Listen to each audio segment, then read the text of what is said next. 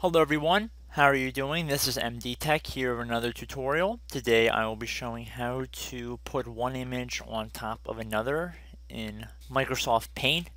So I have my two images on the desktop conveniently. I have image 1 and image 2. If I actually open them up, I have a picture of clouds and I also have a picture of the sun and I'm looking to take this picture of the sun and put it on the picture of the clouds.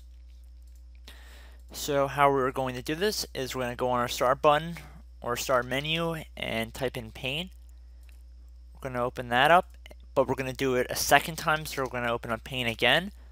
So now we're going to have two paint windows on the screen. Just snap one on one side and one on the other side of the screen. So we have one on the left and one on the right. Up at the top here, the little notebook, click on the little drop down arrow and then go under open open the first image you have, and then on the second pane window, open up the other image.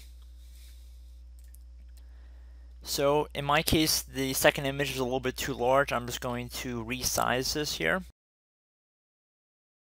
So now what you're going to want to do is under the image tab, click on that little drop down arrow, and then click on select and then select either a rectangle selection or a free form selection.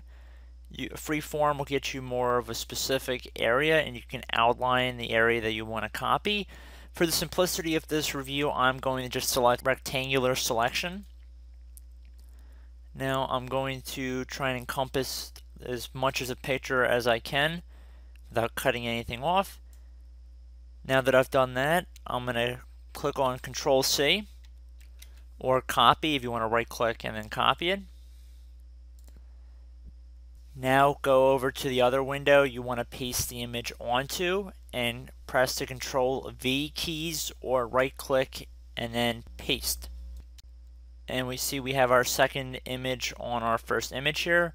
We can drag it around and we can uh, pull the corners back now, this is not the most advanced photo editor out there, as I'm sure many of you are aware, but if you're looking just to combine two images, a very simple program for this, I mean, it's built right into Windows. So uh, I hope this tutorial helped you guys out, and I will see you in the next tutorial. Goodbye.